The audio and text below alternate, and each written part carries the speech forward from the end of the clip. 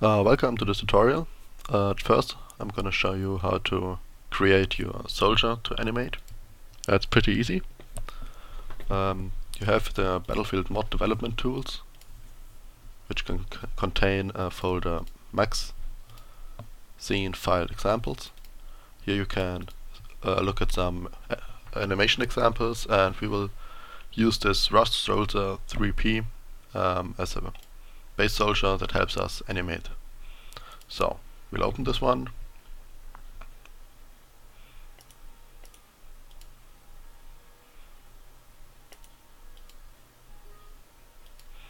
Yeah, some warnings. I have to ignore them. Yes, okay, okay. Now, uh, this is a pretty nifty and small scene. Which gives us the perfectly skinned and especially with a skeleton skinned um, soldier in Battlefield. And the basic animation is in as well, the standard walk animation. Uh, but uh, we don't need this because all animations are based on the run animation. So the walk animation is actually pretty bad for this use. So uh, step one, select everything and select all the keyframes because keyframes suck. So this is the standard position which you can see as well is already the run animation and the position. Pretty nice as well. Okay. So uh, next step, this is actually it. You can use it. Pretty nice. Um, okay. So let's save it somewhere. Okay, here I am going to code the grease gun. So let's save it here as soldier max. Okay, that's about it. Now, the next step would be to get a weapon in, in his hands, because currently this looks rather stupid. We'll give him a weapon to hold. Uh, at first, let's reset everything. Yes. And uh, to import weapons correctly. You could import the meshes, but that would not make much sense because you have to get the weapon in in the right position. So, um, we first import a skeleton. It's important to make is weapon to, to put a check mark here, and then click import ski. You can make as boxes. That's uh, helpful. So bone size 100%. That's alright as well. Now um, we have to import the files. I have them here, I thought.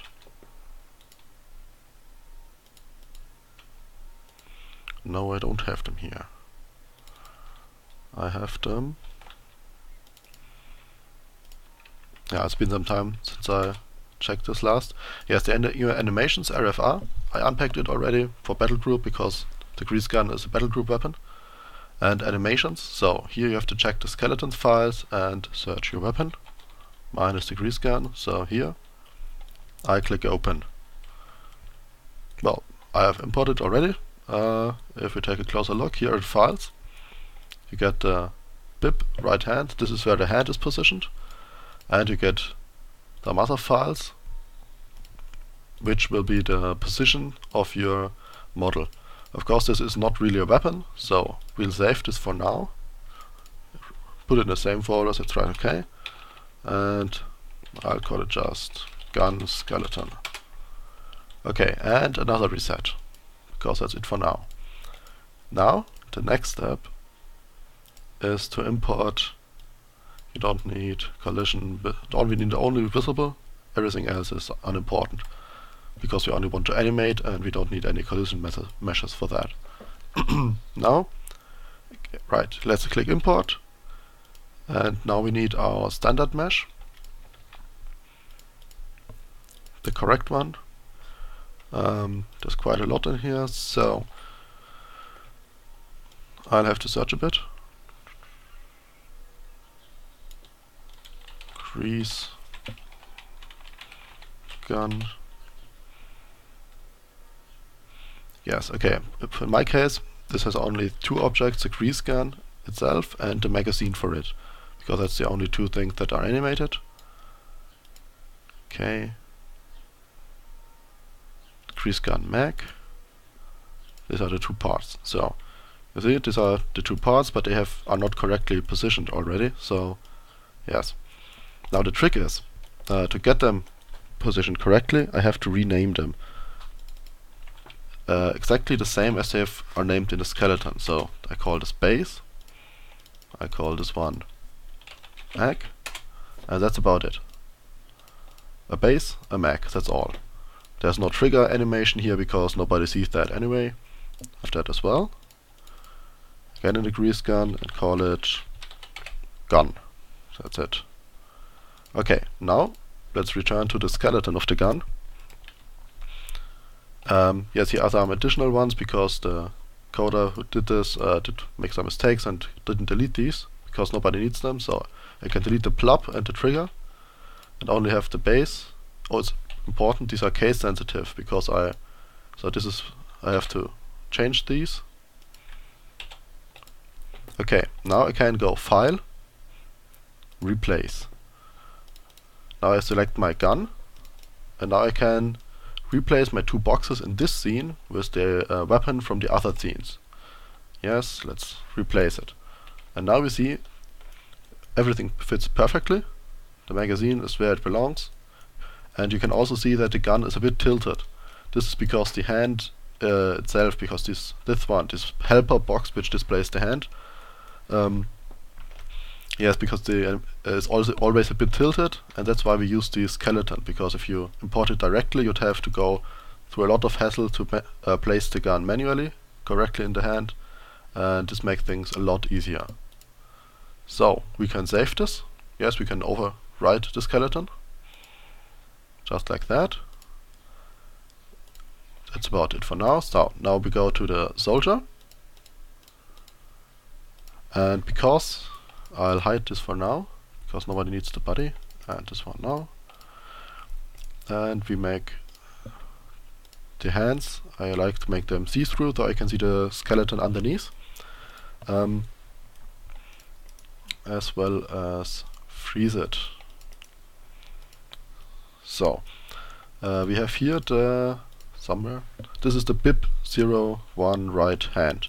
This is the main uh, hand control bone. Uh, this is where the gun will be imported to. So now if we get the gun in, we can use merge gun. No, gun skeleton, my bad. So and select which ones we need. We need all these three. Okay. Has the same name, blah blah blah, mage. That's alright. Nah, that was not the intention. My bad.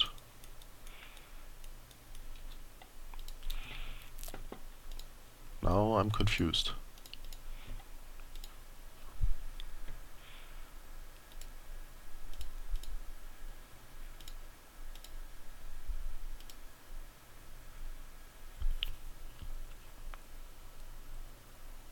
Yes, exactly, this is correct. So we want the base to be reparented to bib0 right hand which one in the scene. So, perfect. It's placed perfectly in the hand. There are some minor mistakes because the it has no custom animation already and it uses standard position. So the finger is a bit off and especially this looks pretty ugly, the left hand. Uh, actually groping through the gun. That's pretty bad, yes. So yeah, that's about it for the importing part. Um, in the next step we're going to go eh, start the first animations for this and get a basic layout done.